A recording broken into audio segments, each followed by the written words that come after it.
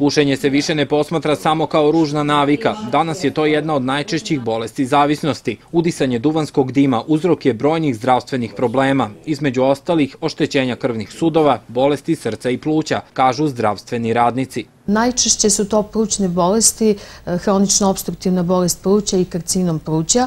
Kad govorimo o tim svetskim ubicama, eh, hronična obstruktivna bolest pluća je na četvrtom mestu, a karcinom pluća na trećem kad je znači ta, ta povezanost ovaj, shvaćena, mi možemo raditi na prevenciji.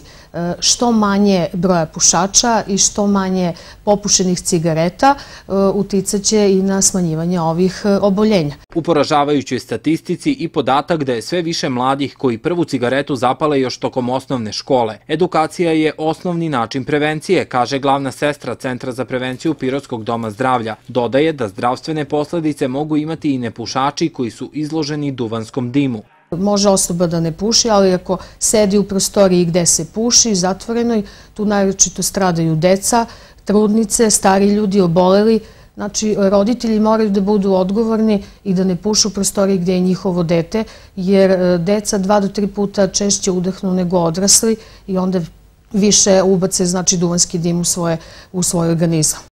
Nacionalni dan bez duvanskog dima u Srbiji se obeležava svakog 31. januara. U četvrtak od 11 do 13 sati predviđena su predavanja o temi pušenja ili zdravlja u Centru za prevenciju. Biće organizovana i predavanja u selima, izložbe i kreativne radionice u školi Dušan Radović. Direktorka Svetske zdravstvene organizacije izjavila je danas za RTS da je vreme da Srbija konačno uvede potpuno zabranu pušenja na javnim mestima i veće akcize na duvanske proizvode.